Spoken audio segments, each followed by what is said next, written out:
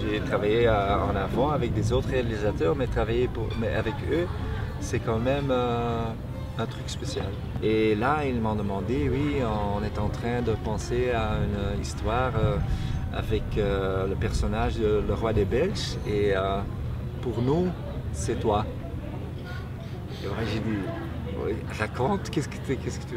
Et là, ils ont raconté, mais c'est déjà longtemps. Et là, j'ai dit oui, immédiatement, oui, je suis là. Et là, ça a duré encore euh, trois ans avant de, commencer. Et maintenant, il prend les personnages et il les met dans une autre histoire. Les personnages restent les mêmes, il y a une évolution, mais restent les mêmes. Mais c'est dans un style quand même complètement différent. Et là, j'aime beaucoup parce que là, tu es en train d'improviser, de, faire des trucs qui ne sont pas dans le scénario, mais qui pourraient être quand même intéressants pour, pour, pour le film. Le roi euh, a un accident. Euh, il est touché par une, euh, par une balle, mais c'est un accident. Et donc on l'amène ici pour, pour le soigner. Cette île, c'est très particulier, ça appartient à un type qui s'appelle le docteur Kroll il a ce palais qui appartenait à Tito et qui existe. Et toutes les chambres ont une photo d'une des grandes personnalités ou chefs d'État qui est venu à cette île, qui est invité par, euh, par Tito. Tous les personnages du film, donc ils sont mis dans une chambre, et ils doivent porter le nom de la personne qui habitait cette chambre. Donc, Peter, qui est le roi, il s'appelle Brejnev dans le film. Euh, moi, je m'appelle Lady Liz parce que j'habite la chambre d'Elizabeth Taylor. Et tout ça, c'est vrai. Ils ont vraiment été ici.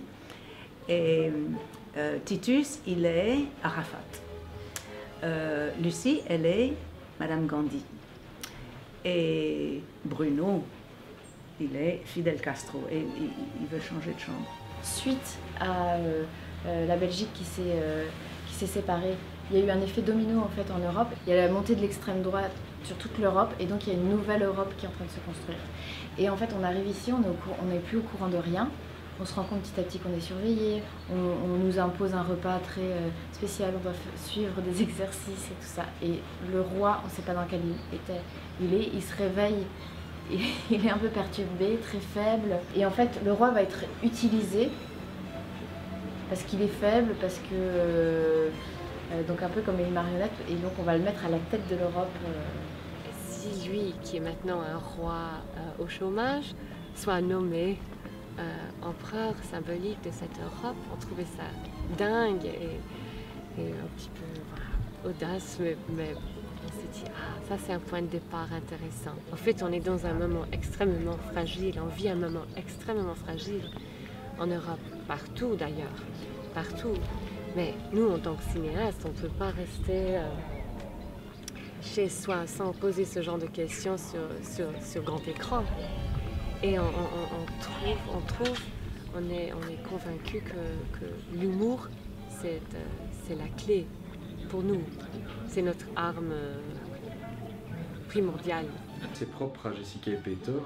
ils entraînent toute une équipe dans une équipée, dans une aventure on peut dire c'est une aventure, mais elle est amicale, elle est, elle est familiale quasiment, euh, parce que, parce que en plus de l'intelligence de leur, manière de travailler et du propos, ils ont l'intelligence du cœur, enfin de, la voilà, ils sont, ils sont attentifs aux gens. Avec King of the Belgians, on était extrêmement surpris de, de, de vivre la réaction pour la première fois pendant la première mondiale à Venise d'entendre autant de gens qui, rient dans la salle et qui.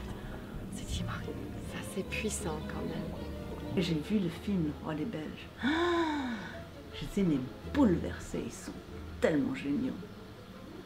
Le rôle était intéressant, mais moi j'étais d'accord pour jouer une chaise ou euh, une porte ou quoi que ce soit. Moi je voulais être dans le film. J'ai vu le film Le Roi des Belges, j'ai dit je veux être dans ce film. C'est la manière de filmer euh, que j'aime beaucoup chez Peter et Jessica, c'est-à-dire ce cadrage comme si c'était un témoin qui voyait une scène dans laquelle passent des personnages. Euh, comme nous, quand on, je regarde par cette fenêtre, eh bien, ils font la même chose euh, avec le, film, et on a vu sur une fenêtre dans laquelle on voit ce qu'on veut bien montrer d'une situation. Et évidemment, ça donne ce petit côté comique et en même temps très poétique. Pour nous, chaque film qu'on fait, c'est le dernier. Le premier et le dernier. Il faut, je crois qu'il faut faire des films comme ça. Chaque film est le premier et le dernier. Et chaque jour, euh, tout le monde dit ça se passe très bien, vous, avez déjà fait 15 jours de tournage. Oui, mais il y en a 6 qui restent. Et s'il y en a un qui est raté, le film est raté. Donc pour nous, c'est pas fini jusqu'au dernier jour jamais se répéter non plus, donc un prochain film doit être tout à fait autre chose.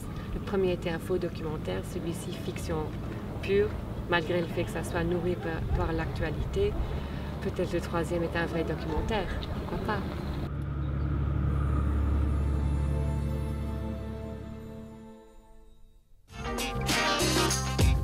Cinéastes ont besoin qu'on s'intéresse à eux, vous le savez.